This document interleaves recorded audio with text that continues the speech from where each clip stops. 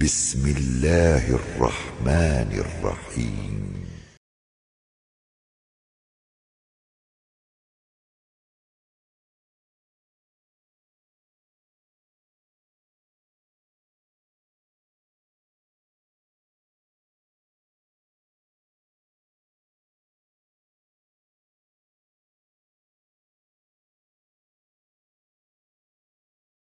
வலைக்கும் வரமத்துல்லாஹி வரகாத்து கண்ணியத்திற்குரிய எல்லாம் வல்ல அல்லாஹுவின் நல்லடியார்களே. மனித வாழ்வில் மனிதனுக்கு வழங்கப்பட்டிருக்கிற மனம் சிந்தனை எல்லா காலத்திலும் ஒன்று போல ஒரே மாதிரி இருப்பதில்லை. அரபியில் இந்த மனதுக்கு கல்பு என்கிற வார்த்தை பயன்படுத்தப்படுகிறது. கல்பு என்று சொன்னால் புரளக்கூடியது புரண்டு கொண்டே இருப்பது என்பது அதனுடைய பொருள்.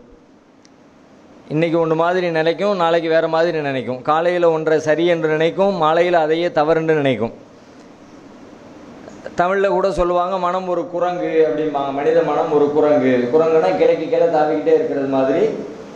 உள்ளகத்தில் ஏற்படுகிற சிந்தனைகள் நாளுக்கு நாள் மாறிக்கிட்டே இருக்கும் என்பதை குறிக்கிற வகையில் இப்படியாக பல்வேறு வார்த்தைகள் அதுக்கு பயன்படுத்தப்படுறதை நாம் பார்க்குறோம். இந்த மாதிரி நம்முடைய உள்ளங்களில் ஏற்படுற சிந்தனைகள் மாற்றங்களில் ஒரு பக்கத்தில் பார்த்தால் நல்ல சிந்தனைகள் நல்ல உணர்வுகள் நல்ல மாற்றங்கள் இரையச்சத்தோடு கூடிய பண்புகள் நல்ல குணங்கள் அதுவெல்லாம் ஒரு பக்கத்தில் உயர்ந்து கொண்டே செல்லும். அந்த மாதிரி செல்லுகிற நேரத்தில் நம்ம கவலைப்பட வேண்டிய அவசியம் இல்லை. அல்லாவுக்கு நன்றி சொல்லிக்கொண்டு மேலும் மேலும் அந்த குணங்களில் நம்ம முன்னேறி போய்கிட்டே இருக்கலாம். இறைவனை பற்றிய ஈமான் நம்முடைய உள்ளத்தில் அதிகரிக்கிறது சில நேரங்களில். சில நேரங்களில் அந்த ஈமான் குறைந்து போகிறது. சில நேரங்களில் நல்ல குணங்கள் அப்படியே மிகச்சு நிற்கிது சில நேரங்களில் நற்குணமற்ற கெட்டவனாக நாமே மாறி போயிடுறோம். சில நேரங்களில் தர்மம் செய்யணும் அப்படிங்கிற உணர்வு அப்படியே மேலோங்கி வழியுது. கையில் கிடைச்சதையெல்லாம் தர்மம் பண்ணுறோம் கேட்ட உடனே கொடுத்துட்றோம். அந்த மாதிரியாகவெல்லாம் சில நேரங்களில் இருக்கிறது. பல நேரங்களில் அற்பமான பொருளை கூட அடுத்தவங்களுக்கு கொடுக்கறதுக்கு மனம் இல்லாமல் ஒரு ஐம்பது காசு ஒரு ரூபாய்க்கெல்லாம் சண்டை போட்டுட்டு விரட்டி அடித்து அந்த மாதிரி பார்க்குறோம். சில நேரங்களில் மற்ற மனிதர்களோடு ரொம்ப நல்ல முறையில் சிரித்து பழகி பேசி பண்பாடாக நடந்து கொள்கிறோம். சில நேரங்களில் எரிச்சலோடு வெறுப்போடு நம்முடைய குடும்பத்தார் நம்முடைய பிள்ளைகள் வந்து நம்ம இடத்துல அணுகும் பொழுது கூட அவங்களிடத்துல நம்முடைய வெறுப்பை வெளிப்படுத்துகிறவங்களாக மாறி போயிடுறோம். அப்போ இந்த மாதிரியான பல்வேறு வகையில் நம்முடைய மனம் அங்கும் இங்குமாக அலைவாய்ந்து கொண்டே இருக்கிறது. மனித மனத்தை எல்லாம் அப்படி தான் வடிவமைச்சிருக்கிறான். ஒரே மாதிரி இல்லாமல் மிகச்சில விஷயங்களில் தவிர மிகச்சில பேருக்கு தவிர பெரும்பாலும் தங்களுடைய உள்ளத்தை கடிவாளமிட்டு ஒரே திசையிலே பயணம் செலுத்தக்கூடிய ஒரு வாய்ப்பு வசதி பெரும்பாலான மனிதர்களுக்கு அமைவதே கிடையாது.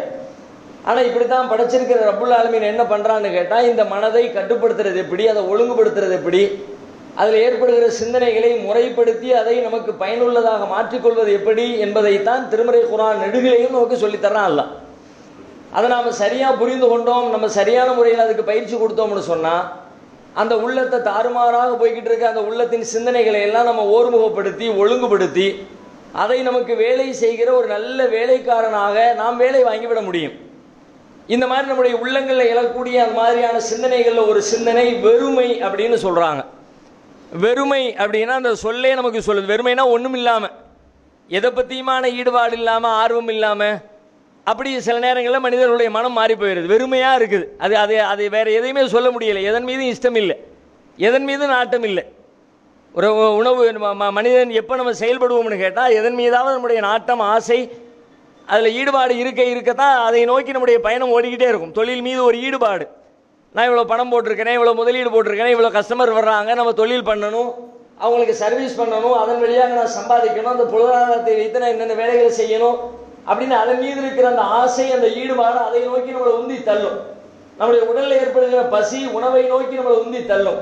பக்கத்தில் இருக்கிறவங்க மீது நம்ம நம்ம வைத்திருக்கிற பற்று பாசம் அவர்களோடு போய் பேசணும் நெருங்கணும் உட்கார்ந்து அளவல் ஆகணும் அப்படிங்கிற மாதிரி அவர்களோடு நம்மளை நெருங்க வைக்கும். சில நேரங்களில் எதுவுமே இல்லை எல்லாம் இருக்கும். சோம்பேறித்தனம் இல்லை அது. செயல்படக்கூடியவராக இருப்பார் நல்ல செயல்படுற ஆற்றல் உடையவராக இருப்பார். எல்லா நேரங்களையும் ஆக்டிவாக இருப்பார். ஆனால் திடீர்னு பார்த்தா சில நேரங்கள் அப்படியே வெறுமையாக வெறிச்சு உட்கார்ந்துருப்பார். உணவின் மீது நாட்டம் இல்லை நண்பர்கள் மீது நாட்டம் இல்லை தொழில் மீது நாட்டம் இல்லை. அந்த மாதிரி எதுலேயுமே நாட்டம் இல்லாத ஒரு வகையான மனநிலைக்கு மனிதர்கள் ஆளாகி விடுகிறோம் இந்த வெறுமை அப்படிங்கிறது எப்போவாவது ஒருக்க வந்துட்டு கொஞ்ச நேரம் இருந்துட்டு கொஞ்ச நேரத்தில் நம்மளை விட்டு போயிடுச்சு அப்படின்னா அதை பற்றி நம்ம கவலைப்பட வேண்டிய அவசியம் இல்லை. ஆனால் இந்த வெறுமை அப்படியே நேரம் கூடி கூடி நே- நே- சில மணி நேரங்கள் என்பது அப்படி சில நாட்களாக அதிகரித்து சில மாதங்களாக அதிகரித்து தொடர்ந்து நம்மிடத்தில் அது இருந்துக்கிட்டே இருந்துச்சுன்னா அது ஒரு பெரிய ஆபத்தில் நம்மளை கொண்டு போய் தள்ளிடும் நம்முடைய வாழ்க்கையை கேள்விக்குறியாக ஆக்கிரும். நம்முடைய சந்தோஷத்தை கேள்விக்குறியாக ஆக்கிரும். நம்முடைய வாழ்வின் எல்லா பிரச்சனை இடங்கள்லேயும் அது ஒரு பிரச்சனைகளை சிக்கலை உண்டாக்கிரும். அப்போ இந்த வெறுமையிலிருந்து நாம் மீண்டாகணும். வெறுமைங்கிற அந்த உணர்வு எதையுமே செய்வதற்கு இஷ்டமில்லாத ஈடுபாடு இல்லாத சில நேரங்களில் ஒரு ஒருத்தர் மீது ரொம்ப பாசத்தோடு நேசத்தோடு இருந்திருப்போம். ஆனால் இன்னொரு கட்டத்தில் நீங்கள் பார்த்தீங்கன்னா அவர்களை பார்ப்பதற்கு அவர் எங்கேயோ இருந்திருப்பார். அவரை தேடி போய் பார்த்துருப்போம். எந்த காரணமும் இருக்காது. அவர் மீது வச்ச பாசத்தினால அவர் மீது கொண்ட நேசத்தினால அவர் நம்ம ஊரை விட்டு எங்கேயோ பல கிலோமீட்டர் தூரத்தில் தள்ளி இருப்பார் அவரை போய் சந்திச்சு உட்கார்ந்து அரை மணி நேரம் ஒரு டீயை குடிச்சிட்டு ஒரு பிஸ்கட்டை தின்னுட்டு கதை பேசிட்டு வந்திருப்போம். அப்படியான ஆட்கள் எல்லாம் பக்கத்தில் வந்து உட்கார்ந்தா கூட ஏறிட்டு பார்க்கக்கூடிய ஒரு மனநிலை கூட இல்லாமல் போயிடும் அப்போ இப்படியான ஒரு வெறுமை மனநிலை நமக்கு வருகிறதுன்னு சொன்னால் அது உடனடியாக சிகிச்சை அளிக்கப்பட வேண்டும். அதிலிருந்து மீண்டு நம்முடைய இயல்பான வாழ்க்கைக்கு நம்ம திரும்பணும். இது மனிதர்களில் நிறைய பேருக்கு வருகிற ஒரு ஒரு ஒரு வகையான மனவியாதிகளில் ஒன்று. இது என்ன ஆயுதுன்னு கேட்டால் இதை கவனிக்காமல் சீர் செய்யாமல் இருக்கும் பொழுது ஒரு கட்டத்தில் அதுக்கே அவங்க அடிமையாகி பழகி பழகி பழகி பழகி அதே மாதிரியான மனநிலையே தங்களுடைய வாழ்க்கையின் ஒட்டுமொத்த வாழ்க்கைக்கு மாற்றிக்குவாங்க இது ஏதோ ஒரு கட்டத்தில் வந்துட்டு போக வேண்டியது அப்படிங்கிறத தாண்டி அவங்க அப்படியான மனநிலையில மாறி அதே மனநிலையில மற்றவங்களை பார்க்கறது மற்ற மற்ற விஷயங்கள் அணுகிறது எல்லாவற்றிலையுமே ஒரு வெறுப்பு ஒரு எரிச்சல் ஒரு கோபம் ஒரு ஈடுபாடு இல்லாம வாழ்வின் மீது எந்த பிடித்தமும் இல்லாம ஒரு கட்டத்தில் அது மாதிரி ஆட்கள் தான் போய் தற்கொலை செய்து இந்த உலகத்தை விட்டே நம்ம உயிரை விட்டுருவோம் அப்படிங்கிற மன முடிவுக்கெல்லாம் போறாங்கல்ல. அந்த மாதிரி ஆட்கள்லாம் இந்த இந்த எண்ணத்தின் நீட்சி அவங்களை கொண்டு போய் அந்த இடத்துல கொண்டு போய் தள்ளி விட்டுரு. இப்போ இந்த மாதிரியான விஷயங்களுக்கும் திருமறை குரான் நமக்கு பர்டிகுலராக பாயிண்ட் பண்ணி நமக்கு வ- வழிகாட்டுதல் வழங்குகிறது. அந்த மாதிரி நம்முடைய உள்ளத்தின் பிரச்சனைகளுக்கு தீர்வு சொல்லக்கூடிய திருமறை குரானுடைய ஒரு அத்தியாயம் இருக்கிறது. சூரத்துல் இன்ஷிரா என்று சொல்லப்படுகிற அலம் நஷ்ரா என்கிற சூரா. நம்ம எல்லாரும் வாசிக்க வேண்டிய சிந்திக்க வேண்டிய நம்ம வாழ்க்கைக்கு ரொம்ப ரொம்ப பயன்படுகிற பல விஷயங்கள் அந்த அத்தியாயத்தில் அல்லாஹ் பேசுகிறான் திருக்குறான் நெடுகிலையுமே நமக்கு பயன் தரக்கூடியது தான் அதில் எந்த வசனமும் வீணானது கிடையாது. எந்த ஒரு வார்த்தையும் வீணானது கிடையாது. எல்லாமே ஏதோ ஒரு வகையில் ஏதோ ஒரு காலகட்டத்தில் நமக்கு பாடம் நடத்துவதற்காக நம்மை பண்படுத்துவதற்காக அல்லாஹ் சொல்கிற செய்தி தான் ஆனால் இந்த இன்ஷிராக என்று சொல்லப்படுகிற அலம் நஷ்ராஹ் என்கிற இந்த சுதா சூறா இருக்கு பார்த்தீங்களா உண்மையிலே நம்முடைய மனங்களை பற்றி பேசுகிற மனதை பக்குவப்படுத்துகிற பண்படுத்துகிற மனதில் ஏற்படுகிற இந்த நெருக்கடிகளிலிருந்து நம்மை மீட்டுக் கொள்வதற்கு வழி சொல்லுகிற ஒரு அருமையான சூறாவாக அல்லாஹ் நமக்கு அருளி இருக்கிறான் அந்த சூறா என்ன சொல்லுது? பல பேர் நம்ம மனப்பாடம் பண்ணி வச்சிருப்போம். சின்ன சூறா அந்த பெரிய சூறா இல்லை. நம்ம மனப்பாடம் பண்ணி வச்சிருக்கிற தொழுகையில் அதிகமாக இமாம்கள் மகரிபு நேரத்தில் இஷாவுடைய நேரத்தில் அதிகம் அதிகமாக ஓதுகிற ஒரு சூறாக்களில் ஒன்றுனா இந்த சூறா. அந்த சூறாவை நீங்கள் ஆரம்பத்திலிருந்து படிச்சு பாருங்க. அலம் நஷ்ராஹ் லக்க சதுரக். ஃபஸ்ட் ஃபஸ்ட்டாக அல்லாஹ் நபியை பார்த்து பேச ஆரம்பிக்கிறான். அலம் நஷ்ரா ஹலக்க சதுரக். நபியே உம்முடைய உள்ளத்தை நாம் விரிவாக்கவில்லையா? உள்ளத்தை உள்ள உள்ளத்தில் உள்ள பிரச்சனைக்கு தீர்வு சொல்லுகிறதற்காக வேண்டி அருளப்பட்ட அத்தியாயம் அது. அந்த அத்தியாயம் எப்படி ஆரம்பிக்கிறது? அலம் நஷ்ரா லக்க சதுரக். உம்முடைய உள்ளத்தை நாம் விரிவாக்கவில்லையா? உள்ளத்தை விரிவாக்குறது அப்படின்னா பிரச்சனைகளுக்கான ஒரு ஒரு பிரச்சனை அப்படின்னு மனுஷன் சொல்கிறான்னு சொன்னாலே பிரச்சனை என்பது உலகத்தில் உள்ள ஜட பொருட்களிலோ மனிதர்களுடைய புற உலகத்திலேயோ பிரச்சனைகள் இல்லை. அந்த பிரச்சனையை பார்க்கிற பார்வை தான் பிரச்சனை. உள்ள உள்ளம் அதை எப்படி பார்க்கிறது? நம்ம பார்க்கிற பொழுது அதை பிரச்சனையாக பார்க்கல அப்படின்னா உங்களுக்கு இது பிரச்சனையே இல்லை. சில பேர் இந்த பிரச்சனைகளை பற்றி பேசுகிற பொழுது பிரச்சனை அப்படிங்கிற வார்த்தையை பயன்படுத்தாதீங்கம்பாங்க. அந்த சொல்ல சொல்லாதீங்க. அப்படி சொல்லாமல் வேறு என்ன சொல் பிரச்சனையில் மாட்டிக்கிட்டாங்க. அப்படின்னா அப்படி தானே சொல்லி ஆகணும் நம்ம நினைப்போம். சிக்கலில் மாட்டிக்கிட்டேன். ஒரு கஷ்டத்துல இருக்கிறேன் ஒரு பெரிய பிரச்சனையில மாட்டிக்கிட்டேன் அப்படின்னு நம்ம பேசுவோம். ஆனால் சில மனவியல் மருத்துவர்கள் சொல்றாங்க நீங்க பிரச்சனைகளை பற்றி பேசுகிற பொழுதோ ஒரு சிக்கலில் மாட்டிக்கொண்டோம் என்பதை பற்றி நீங்கள் சிந்திக்கிற பொழுதோ நான் சிக்கலில் இருக்கிறேன் பிரச்சனையில் இருக்கிறேன் என்கிற சொல்லையே பயன்படுத்தாதீர்கள். எந்த சொற்களை நீங்கள் பயன்படுத்துகிறீர்களோ அந்த சொற்களே உங்கள் உள்ளத்தில் தாக்கத்தை ஏற்படுத்தும். எந்த வார்த்தையை நீங்கள் வெளியில் பேசுறீங்களோ அது உங்களுடைய உள்ளத்திலே உங்கள் காது வழியாக உங்கள் உள்ளத்திலே அது இறங்கும். அது உங்களையும் பாதிக்கும். அப்படி என்ன பண்ணுங்க? சிக்கல் பிரச்சனை கஷ்டம் துன்பம் என்கிற சொற்களுக்கு பதிலாக சவால் என்கிற சொல்லை மாற்று சொல்லாக பயன்படுத்துங்க. எனக்கு ஒரு சவால் வந்திருக்கிறது. இந்த எப்படி எப்படி ச- சந்திக்க போறேன்? இந்த சவாலை எப்படி சமாளிக்க போறேன்? அப்படின்னு நீங்க இந்த வார்த்தையை மாத்தி போடுங்க. உங்களுக்கு ஒரு தன்னம்பிக்கை பிறக்கும். எதிர்கொள்ள வேண்டும் என்கிற உணர்வு வரும். இந்த பிரச்சனையை எப்படியாவது சமாளித்ததில் மீண்டு வர வேண்டும் என்கிற ஒரு பலம் உங்களுடைய உள்ளத்தில் உங்களையும் அறியாமல் வருவதற்கு நீங்கள் பயன்படுத்துகிற சொற்கள் ஒரு காரணமாக அமையும். எனவே நீங்க அந்த சொல்ல கவனமா கையாளுங்கன்னு சொல்றாங்க. இப்ப அல்லாஹ் என்ன பண்றான்? அலம் நஷ்ரா ஹலக்க சதுரக். உள்ளம் தான் எல்லாத்தையும் பார்க்குது. சில பேருக்கு நோய் இருக்கும். ஆனால் அது அவர் நோயினே நினைக்கலன்னு வச்சுக்கோங்க. நோய் இருக்குது நோயினே நினைக்கல. அவர் நோயாளி இல்லை. ஊர் உலகமெல்லாம் சேர்ந்து சொல்லுது உனக்கு நோய். கொரோனா காலத்தில் கண்ணுக்கு முன்னாடி பார்த்தோம். கொரோனா போய் இப்போ நீ டெஸ்ட் எடுத்துகிட்டு வரணும். சும்மா நல்லா இருப்பார். வேறு ஏதோ ஒரு தேவைக்காக வேண்டி அவரை டெஸ்ட் எடுக்கணுன்றவாங்க அவர் வெளிநாட்டுக்கு போகணுமோ அல்லது வேறு ஏதாவது தேவைக்கோ அது செய்யணும் இது செய்யணும் எங்கே போனதாக இருந்தாலும் டெஸ்ட் எடுத்துட்டு வா டெஸ்ட் எடுத்துட்டு வா டெஸ்ட் எடுத்துவான்னு வான்னு அப்படி பாடாப்படுத்தின நேரத்தில் ஆரம்பத்தில் அந்த தப்லீக் ஜமாத்து போயிட்டு டெல்லியிலேருந்து நிஜாமுதீன்லேருந்து வந்து தமிழ்நாடு முழுக்க கொரோனாவை பரப்பி விட்டாங்கன்னு சொல்லி கதை பரப்பினானுங்கள அந்த நேரத்தில் அங்கிருந்து வந்த எல்லாத்தையும் திருச்சி ஹாஸ்பிட்டலில் ஜிஹெச்சில் வச்சு தனிமைப்படுத்தி டெஸ்ட் எல்லாம் எடுத்தாங்க. போய் பார்த்தா ரிப்போர்ட் சொல்லுது. என்ன ரிப்போர்ட் சொல்லுது? இவங்களுக்கு கொரோனா இருக்குது. டெஸ்ட் என்ன சொல்லுது? அந்த ரிப்போர்ட் என்ன சொல்லுது? அவங்களுக்கு இருக்குது. அவங்களுக்கு இந்த நோயுடைய சிம்டம்ஸ் இருக்குது. அதுக்கான அறிகுறிகள் எல்லாம் நம்மளுடைய பிளட் மத்த மத்த ஆய்வுகள்ல ரிசல்ட்ல இருக்குதுன்னு ரிசல்ட் சொல்லுது. அது மாதிரி பல பேருக்கு சொல்லுச்சு. அவங்கள பார்த்தா ரொம்ப ஜாலியா இருக்காங்க. ரொம்ப ஹாப்பியா இருக்காங்க. ஒரு பிரச்சனையும் இல்லை. நல்லா தான் தான் இருக்கிறோம். மூச்சு விடுதல் ஒரு சிக்கலும் இல்லை தான் எல்லாமே பிரச்சனையே இல்லை. பத்து நாள் வச்சுருந்தாங்க. பத்து நாளைக்கு பிறகு நிம்மதியாக நல்லா சாப்பாடு கொடுத்தாங்க. சாப்பிட்டு முடிச்சுட்டு பத்து நாள் தனியாக உட்காந்துருந்தோம் நிம்மதியாக தொழுதும். தொழுது முடிச்சுட்டு வீட்டுக்கு வந்துட்டு இருந்தான். பல பேருடைய ரிப்போர்ட் இப்படி இருந்துச்சு. அவர்களுடைய பேப்பர் ரிப்போர்ட் சொல்லுது நோயாளின்னு. அவங்களுடைய உள்ளமத அந்த நோயை ஏத்துக்கல. எனக்கு அப்படியெல்லாம் ஒன்றும் இல்லையே ஒன்று வர நோயாளி இல்லை. நிஜத்தில் நோயாளி யாரு? ஐயோ எனக்கு இப்படி ஆயிடுச்சே அப்படின்னு நினச்சி அதை ஒரு ஃபீல் பண்ணி அதை கஷ்டப்பட்டு அதை உணர்ந்து அதுலேருந்து மீண்டு வரணுமேனு ஒரு சிக்கலில் மாட்டிக்கிட்டதா எவன் நினைக்கிறான் அவன் தானே நோயாளி. மனசு அதை நோயாக நினைக்கலையா? நீ நோயாளியே இல்லை. ஒருத்தர் பெரிய செல்வந்தராக இருக்கிறார் கோடிக்கணக்கில் சொத்துக்களை வச்சிருக்கிறார். ஆனால் தன்னிடத்தில் சொத்துக்கள் சேர்ந்து விட்டது என்கிற உணர்வு அவருக்கு இல்லவே இல்லை. நம்ம இத்தனை கோடி வச்சிருக்கோங்கிற ஃபீலிங்கே இல்லை. என்ன செய்வார்? மேலும் மேலும் சொத்துக்களை தேடி தேடி பணத்தை தேடி தேடி ஓடிக்கொண்டே இருப்பார். எதுவரை ஓடுவார்? காலம் முடிகிற வரைக்கும் ஓடுவார். ஐம்பது வயசுல ஓடினார் அறுபதுல ஓடினார் எழுபதுல ஓடுவார் எண்பதுல ஓடுவார். கடைசியில் மௌத்தா போற வரைக்கும் சம்பாதிக்கணும் சம்பாதிக்கணும் சம்பாதிக்கணும். கடையில் உட்கார்ந்து உட்கார்ந்து உட்கார்ந்து உட்கார்ந்து அந்த சம்பாதிச்சிருக்கிற காசி உலகன்னு இருக்குதே. பேங்க் பேலன்ஸ் இத்தனை கோடி இருக்குது இவ்வளவு இடங்கள் இருக்குது இவ்வளவு சொத்துக்கள் இருக்குது இந்த சொத்துக்களை கொஞ்சமே அனுபவிப்போமே நாம பயன்படுத்துவோமே நம்மளை சுத்தி இருக்கிற மக்களுக்கு அதை கொடுப்போமே அதனால் நாலு பேருக்கு நல்லது செய்வோமே எதுவுமே அவரை பிச்சைக்கார மாதிரியே இருப்பான். சில பேர் சொல்லுவாங்க பெரிய கோடி இவரெல்லாம் எப்படி இருக்காரு பாரு ஆளை பார்த்தா ஆக பஞ்ச பராதி மாதிரி இருப்பார்.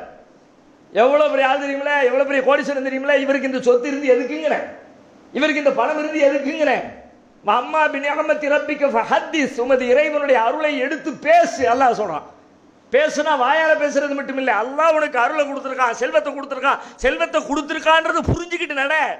எனக்கு சட்டை வாங்க காசு கொடுத்துருக்கான் புதிய சட்டையை வாங்கி போடு. கார் வாங்க காசு கொடுத்துருக்கான் நல்ல காரில் போ. நல்ல வீட்டை குடியிருக்கிறதுக்கு பணம் இருக்குது நல்ல சொந்த வீடு வாங்கி குடியிரு. நல்ல ஏசி ரூமில் இருக்கிறதுக்கு வாய்ப்பு கொடுத்துருக்கான் நல்ல ஏசியை போட்டு உட்காரு என்னங்கிறேன்? அப்படியெல்லாம் அல்லாஹ் கொடுத்தது அனுபவியம்பா அனுபவிக்கிறதாங்க கொடுத்தான். நீயும் அனுபவி உன் சோகப்பா அக்கம் பக்கத்தில் இருக்கிறவங்களுக்கு அனுபவிக்க கொடு. யார் அனுபவிப்பார்? தன்னிடத்தில் இவ்வளவு சொத்துக்கள் இருக்கிறது என்பதை தெளிவாக யார் புரிந்து கொள்கிறாரோ அவர் அதை அனுபவிப்பார்.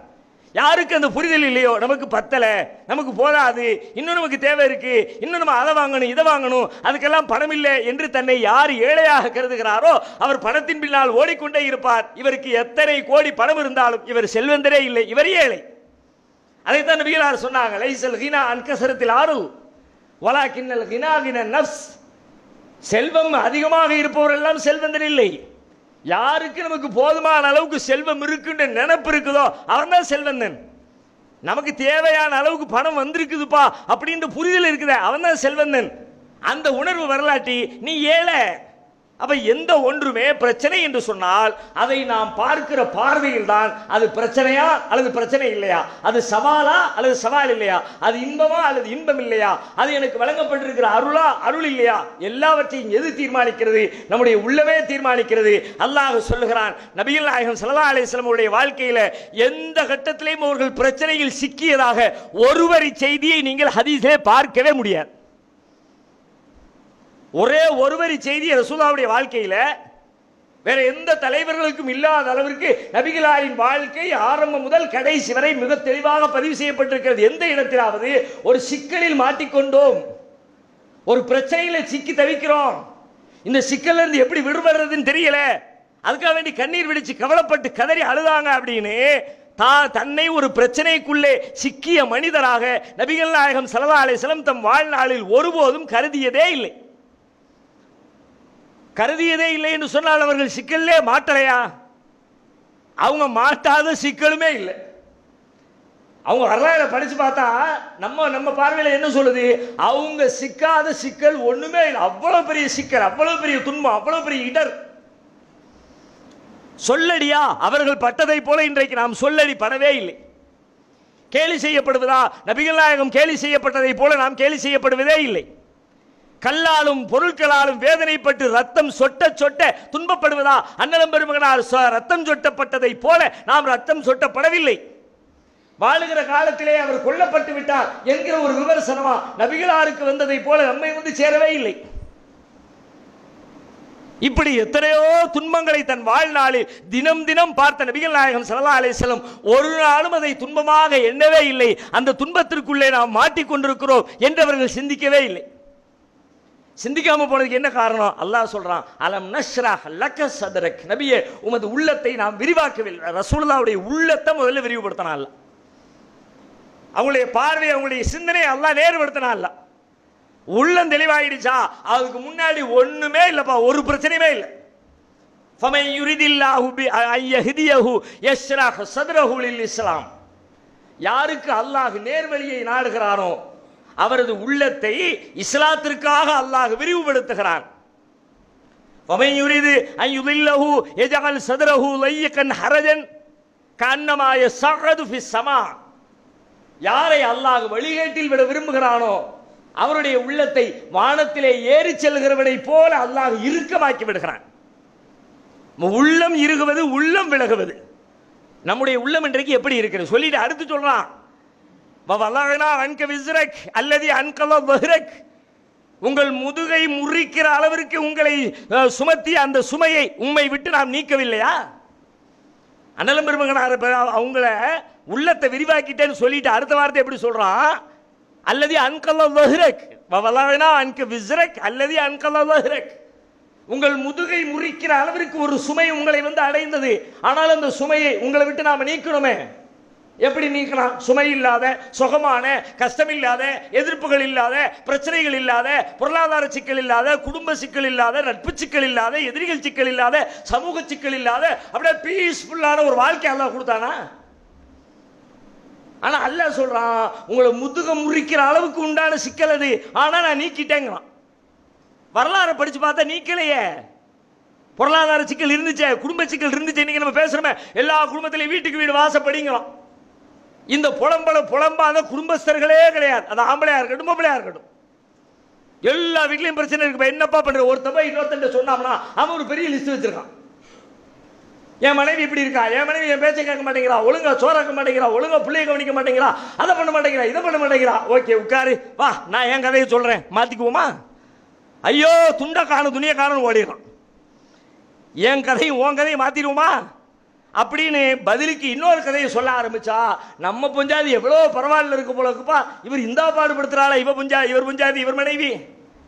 எல்லா இடங்களிலும் சிக்க நபிகள் நாயகம் உட்பட எந்த அளவிற்கு நபிகளார் இந்த சிக்கலில் சிக்கி தவித்தார்கள்? திருமறை குரானில் நபிகளாருடைய மனைவியை நம்முடைய தாய்மார்களை அல்லாஹ் கண்டித்து குரானிலே வசனம் இறக்குகிற அளவிற்கு எப்படியெல்லாம் வசனம் இருக்கலாம் இன் தூபா இலல்லாஹி பக்கத்து சகத்து குலூபுக்குமா وإن تلاهرا عليه فإن الله هو مولاه وجبريل وصالح المؤمنين والملائكة بعد ذلك ظهير மனைவிமாரை பத்தி சொல்றான் நீங்க அல்லாவிடத்துல மன்னிப்பு கேட்கல எதுக்கு ரசூலுல்லாவிடத்துல நடந்து கொண்ட முறைக்காக பக்கத்து சகத்து குலூபுக்குமா உங்கள் இருவருடைய உள்ளமும் தாழ்ந்து விட்டது தரம் தாழ்ந்து விட்டது ரெண்டு மனைவிமாரை பத்தி பேசுறான் பக்கத்து சகத்து குலூபுக்குமா நீங்கள் ரெண்டு பேரும் நபிக்கு எதிராக சூழ்ச்சி பண்ணுறீங்களா யாரு?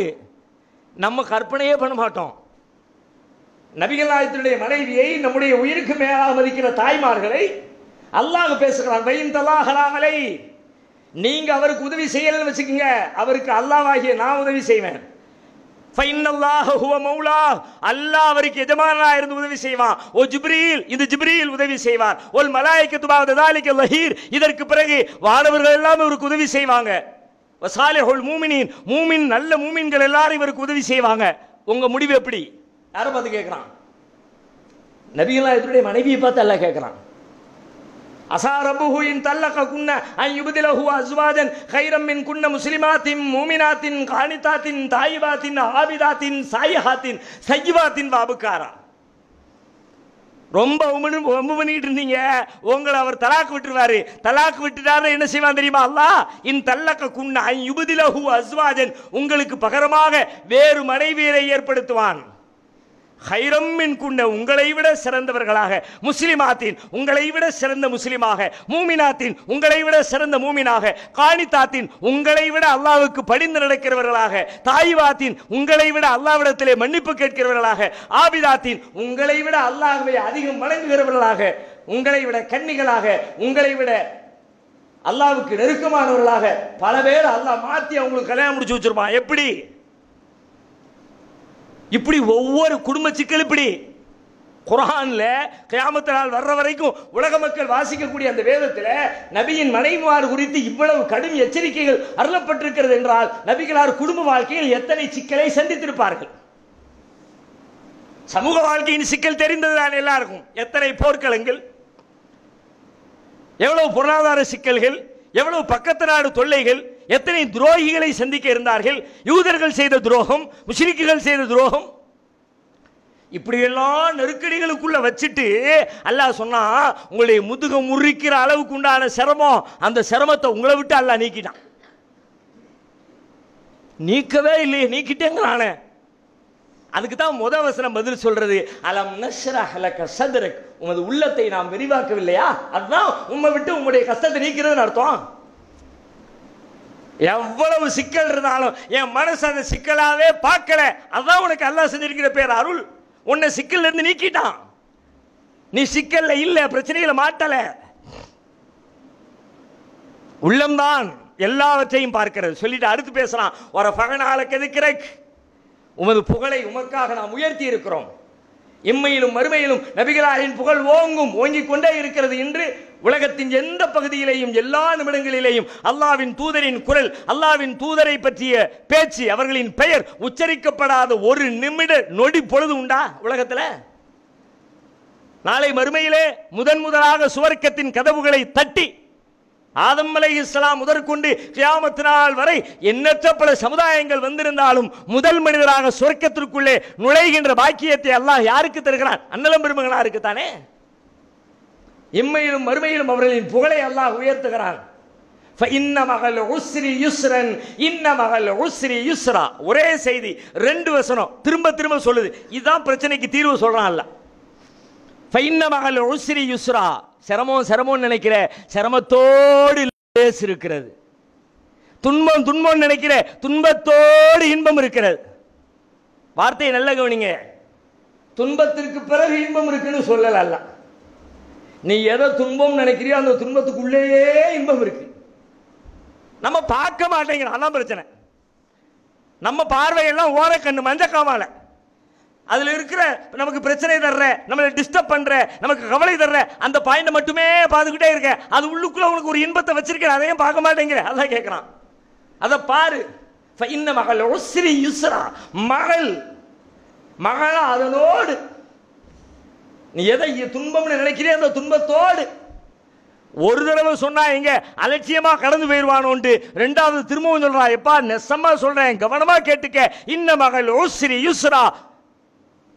சிரமத்தோடு தான் லேஸ் இருக்கிறது எளிமை இருக்கிறது இன்பம் இருக்கிறது. இது ஒரு பிராக்டிஸ் இது ஒரு பயிற்சி இது ஒரு முறை. உங்கள் வாழ்க்கையில் நீங்க துன்பப்படுவதாக நினைக்கிற தருணங்களில் எல்லாம் அந்த துன்பத்திற்குள்ளே உங்களுக்கு கிடைக்கிற நன்மை என்ன என்பதை அமர்ந்து ஒரு பேப்பர் எடுத்து பேனா எடுத்து உட்கார்ந்து எழுத ஆரம்பிங்க. உங்களுடைய துன்பம் காணாமலே போயிடும். உட்கார்ந்து நம்ம நம்ம அதை பார்க்கல நம்ம இவ்வளவு நாளும் பார்க்கலையே. நாளை காலையில் அவனுக்கு ஐயாயிரம் ரூபாய் கொடுக்கணும். இன்னைக்கு கையில் ஐயாயிரம் இல்லையே. அது மட்டும் தான் பெருசா தெரியுது. இந்த நிலை வந்ததால் எனக்கு ஏற்பட்டிருக்கிற வாய்ப்புகள் என்ன வசதிகள் என்ன என்ன தேடுகிறேன்?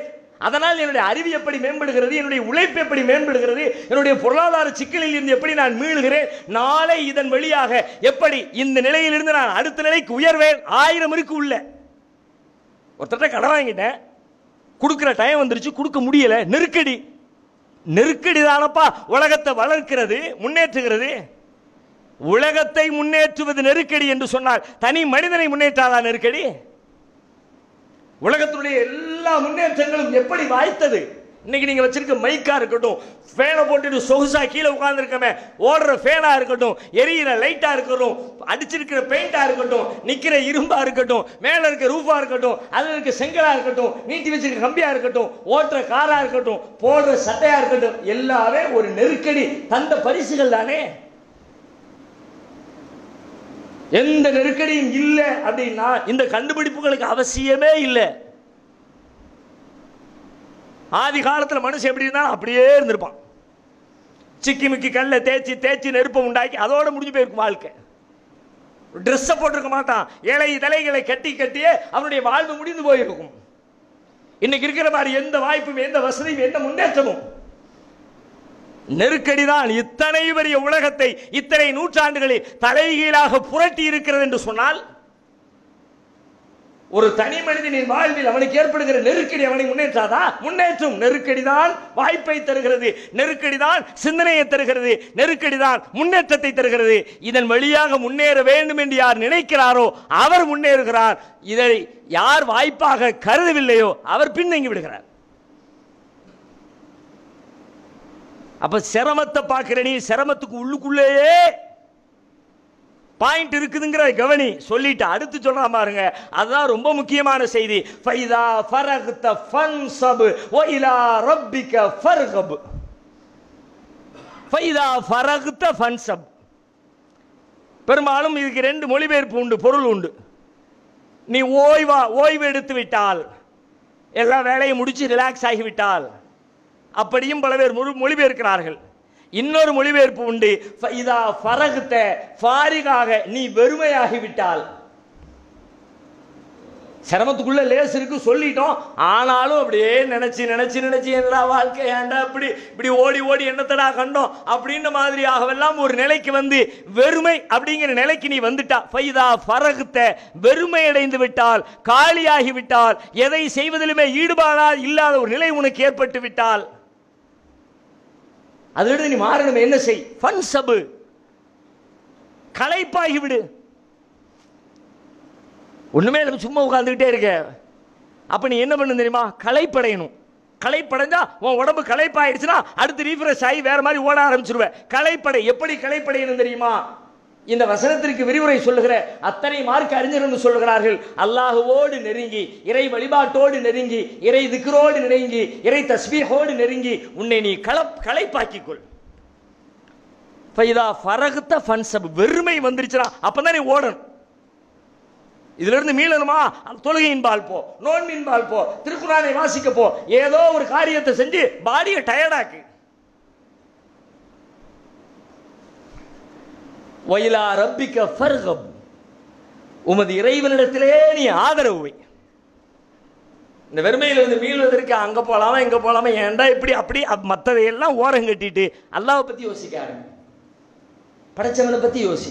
நம்ம எதுக்கு படைக்கப்பட்டோம்னு யோசி. அவன் எதுக்கு நம்மளை அனுப்புனான்னு யோசி. எதுக்கு கை காலு கண்ணு காது மூக்கு எல்லாத்தையும் தந்தாமனு யோசனை பண்ணு.